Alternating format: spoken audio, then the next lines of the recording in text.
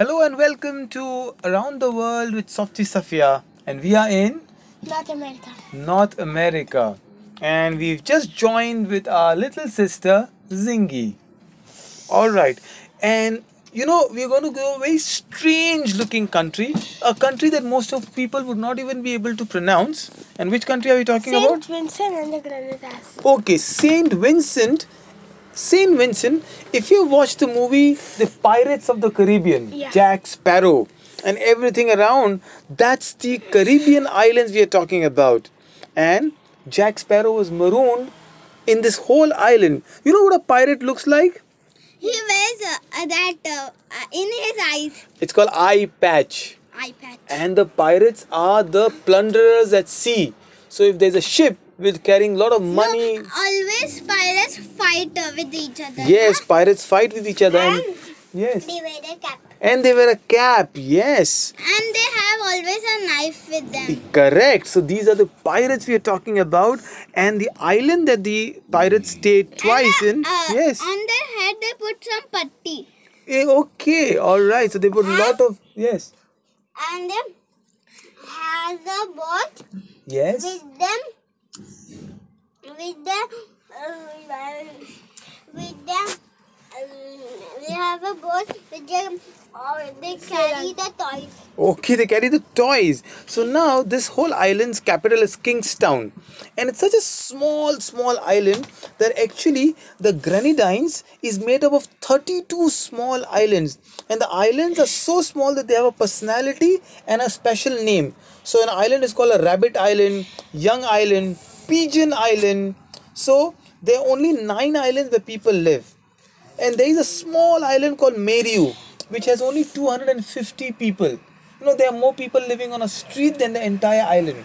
And there's a rule in the island. The rule is if you get married in the island, it's okay, but you must stay for three days in the island. People love people so much that they don't want to let you go. Right? But one good thing about St. Vincent and Grenadines is that there are botanic gardens in the island that they are so beautiful that people come all the way only to buy plants in this place. Must be beautiful, isn't it? And Safiyah, a little bit of history that there was a Treaty of Paris in 1763, and that is when St. Vincent was belonging to the Britishers and they got the independence from the Britishers after the Treaty of Paris. So now it's an independent island. France gave the treaty France was one who's holding it but the Britishers, and France said, You must give this island back to the country.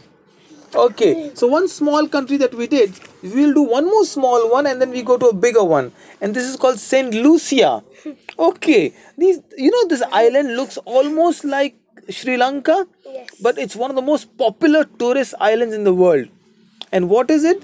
The two words that go well, St. Lucia, is an island where you can get on your bike and get lost in the rainforest. It's such a beautiful island with lots and and, if lots. we know the way so we'll not get You'll not get lost. You just it's the just the jungles. There are no roads there.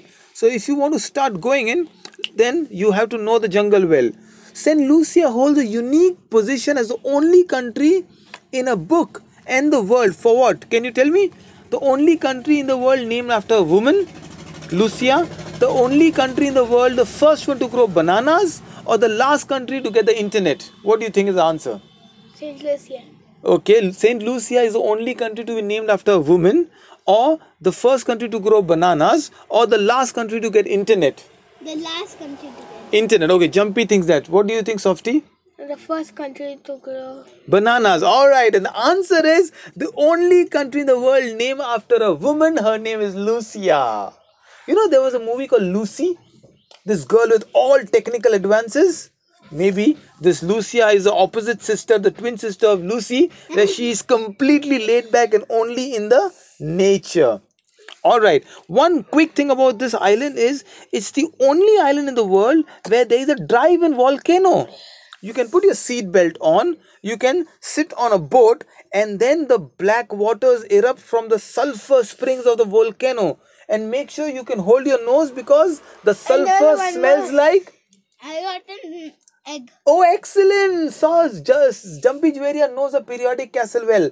You know, if that's a series we are doing, Sulfur smells like rotten eggs. So hold your nose tight. And this is my country And that we talk about. has like in Italy there was a city called Oh, Pompeii, yes. and it uh, like got gone burned. Yes, Vesuvius. Absolutely wonderful. Thank you so much. And one quick history. Again, there was a tug of war between St. Lucia's Islands. Who owns it? The Britishers or the French? And both the countries were trying.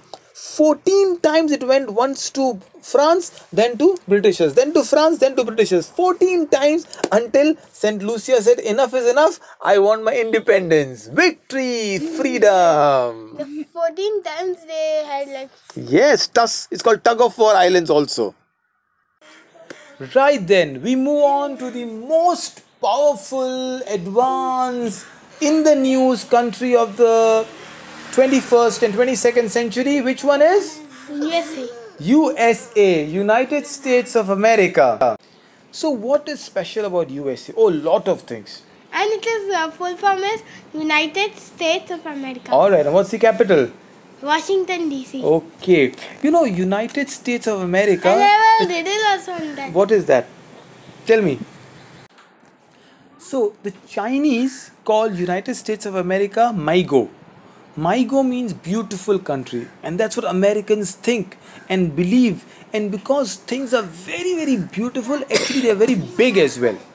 You know how was the history of United States? The name, the land we call America was actually the Americas were a tribe, and these the original name of tribe is called Apache even now they have these apache helicopters so the apaches lived for thousands and thousands of years in some of the states especially north you know arizona texas new mexico And there is this also. which one Uh, Alaska.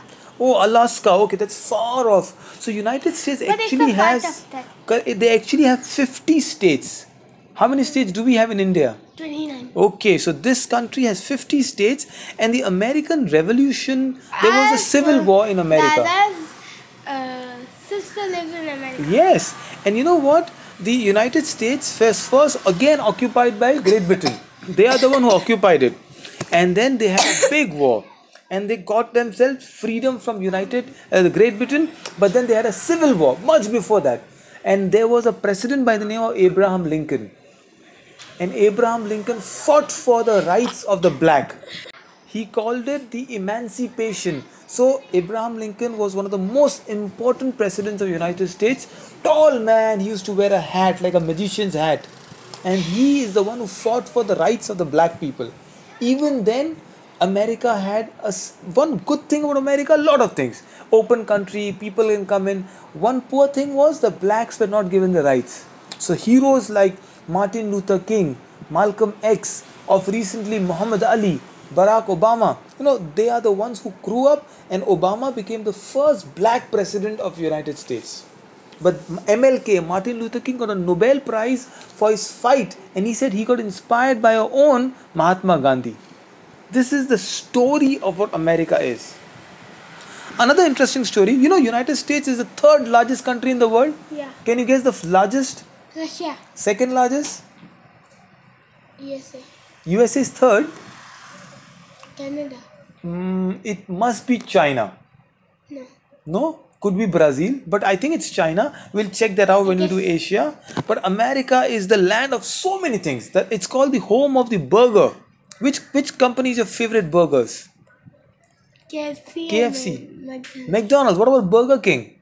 Nice. Nice. So now I like all that also. America is the favorite fast food creator. All these countries, the fries, the burgers, the KFCs, the Taco Bells, all these are Americans. And today, 40 billion burgers are eaten every year in America.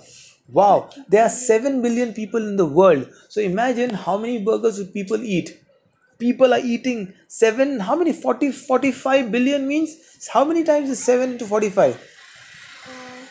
quickly seven ah we have to good job maths table softy 7, 42, 42, 41, 56, 56. all right so it's seven fives are 7, 5, okay so we are getting Uh, softy 30 35 and 7 6 are 42 so we're looking at around six times seven the sevens are population. all right. So that many number of people are eating burgers and america is also called the fat capital of the world. People have become obese. So many people are eating so many fast food like starbucks and then you in milkshakes and you have Most important is fat for them. Yeah the people are becoming obese and we need to take care of that. By the way america has the disneyland they have the sea world they have the mountains and and one of the things america And America has the like Saint Neil Armstrong. oh yes neil armstrong was an american there was a cold war you know what's a cold war No. russians and american had a war called proxy war they didn't actually fight but they will help the enemies of america like vietnam or iraq or afghanistan So Russia has Cuba, Russia helped Cuba, and oh. America helped Afghanistan. So this is called proxy wars. It's called Cold War. But one thing about Cold War was they also wanted to be the first people in space. So Russia, and when we do that, they sent the first man, Yuri Gagarin, in space. So America wanted to be the first person to send somebody in on moon. And there was a president called John F. Kennedy. And John F. Kennedy says something very beautiful. He says, Don't ask what your country does for you, ask what you do for your country. What are you doing for your country?